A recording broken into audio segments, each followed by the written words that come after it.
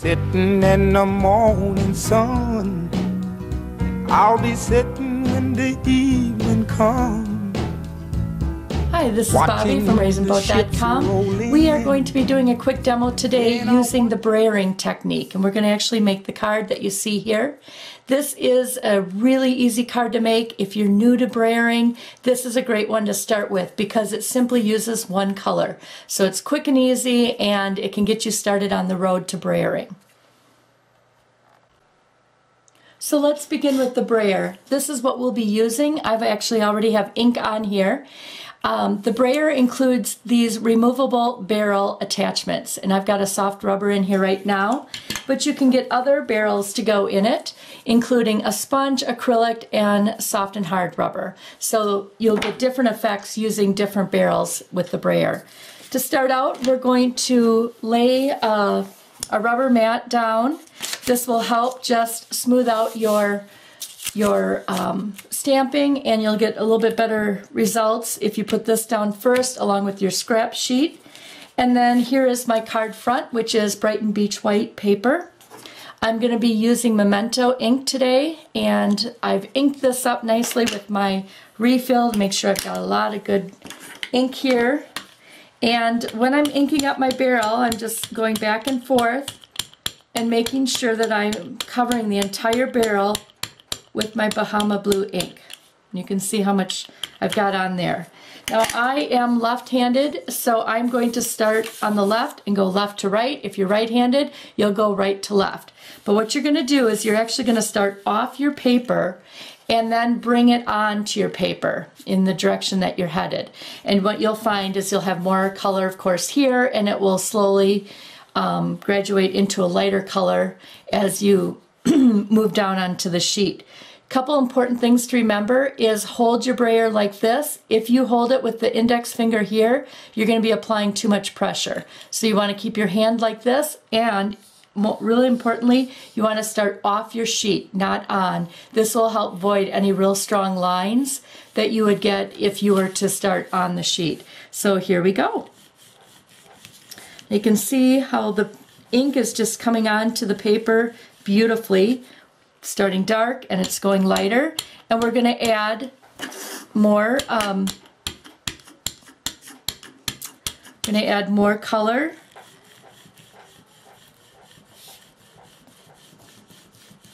Again, look how pretty that is. This is beautiful for sky or for water.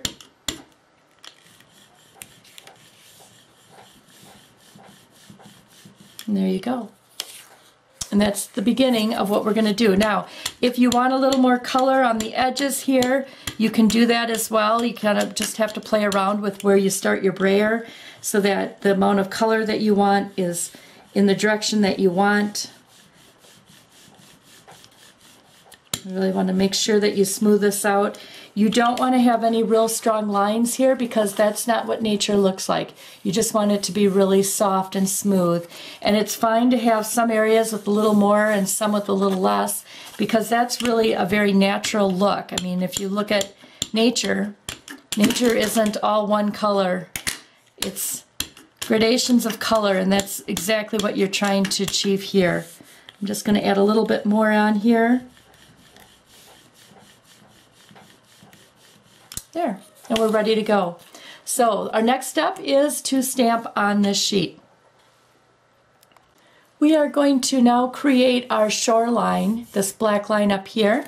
And to do that, we're going to use the Memento Tuxedo Black ink and we'll use a technique called direct to paper. I'm just going to scrape the edge of my stamp pad right on my sheet here and that's going to create my shoreline. There you have it. Now, I am not as worried about how it looks because I'm actually going to stamp right on top using this little grassy brush image from the set Pure Happiness. And that's what's going to really finish off that shoreline.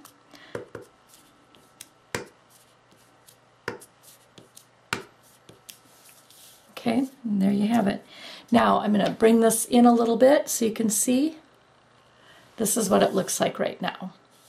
Okay, now I want to create a reflection of this brush in the water. And so in order to do that, I'm going to stamp, stamp off, and then come in here and stamp this in a very faded gray, or faded black, I should say. So it looks like it's a reflection in the water. Now it's time to put in our pier. And this pier is designed to work right off the edge of your sheet. So you can really just put this in here. And I'm again stamping it in tuxedo black. And there I've got my pier. Now I'm ready to color the pier. Markers. And mine are well used as you can see.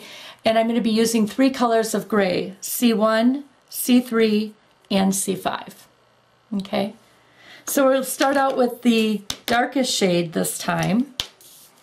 And I'm going to color in any area that would be shaded by the pier itself, which would be all of the areas underneath and the areas that are not on the surface of the pier itself. I'm going to use C3 and I'm going to just go along here along the edges. This would be done, this would be beautiful also done in browns or blacks. Um, any colors, nice good old wood pier here. Reminds me of our lake cabin. Okay, and I'm just going to go in and then I'm going to do the top of the posts that are on the vertical surface and then just along the top surface. Now I'm also going to go back to my C5 and put in a little color down here because this would be shaded by the brush or the shoreline here. And I'm going to take my C3 and then just kind of finish that a little bit. So it just kind of graduates nicely. And then my C1 will be my last color I'll be using. And I'm just going to soften these edges a little bit so that it's not such a strong contrast. Now, you'll notice that I am making the top of the pier remain white. And the reason for that is if you think of sunlight coming in, this part here would be the lightest or highlighted the most. And by keeping that white, I keep that look going. And then the areas underneath obviously get darker and darker. Okay, there is my pier all colored in and waiting for the next step.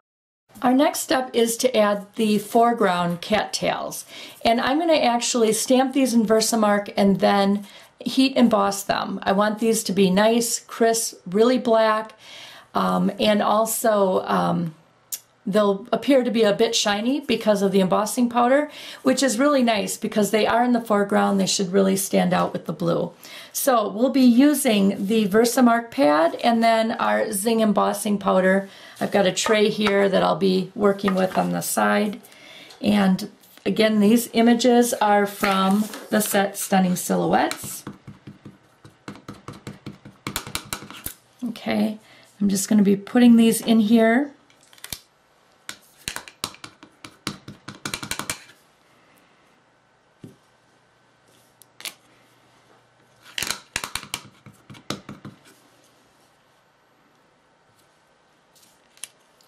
Also got a single cattail that I'll add as well.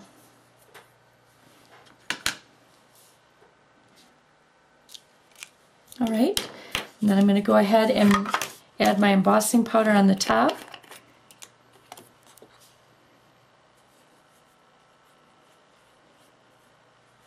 All right, and there they are, and they are ready to heat emboss.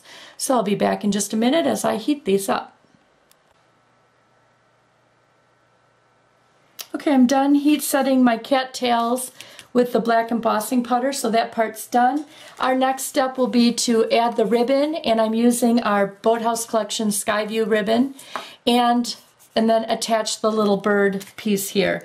And all this is, is I simply stamp this in tuxedo black on a 1 and 3 8 inch circle, and then matted that with our uh, black granite cardstock. So that's ready to go. I've now added the ribbon and I'm going to go ahead and add my birds and I'm going to let these actually come off the sheet here because I'm going to cut that down just for a little bit of added interest. And there's the front of our card. Now I'm going to go ahead and mat that with the sheet of our black.